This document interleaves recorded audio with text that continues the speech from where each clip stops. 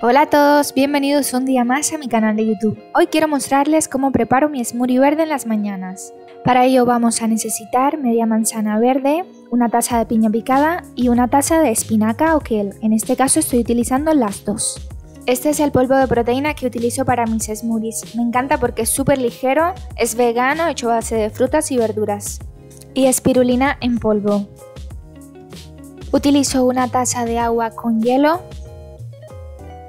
dos cucharaditas del polvo de proteína, la mitad de una cucharadita del polvo de espirulina y vamos a adicionar las hojas verdes, la piña y la manzana.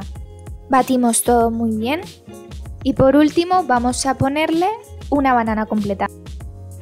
Y ya está listo nuestro super smoothie, completamente natural, muy nutritivo y es perfectamente el sustituto de cualquier comida. Si les ha gustado el vídeo regálenme un like y recuerden suscribirse. Gracias.